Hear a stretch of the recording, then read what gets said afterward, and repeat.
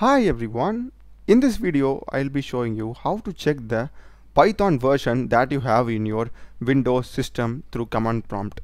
So let's get started. So first thing just go to search and type cmd and open command prompt and the command that gives us the Python version is python space hyphen hyphen version. So this is going to be the Python version that is being currently used and configured and this applies even though you have multiple Python versions installed in your system.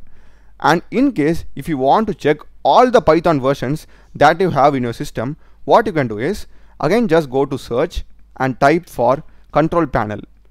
Open it and in the control panel you need to go to programs and click on programs and features and in this if you just scroll down and go to P so here you can see I am having only this version which is Python 3.11.4 and in case if you had other versions it will also be showing here. So basically you can even right click and uninstall or change the version from here also.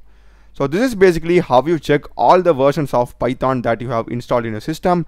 I hope you would have found this video useful. Do check the playlist of my channel. I've a lot of videos in Python as well as programming and AI tutorials. Check them out. Subscribe me. Thanks for watching.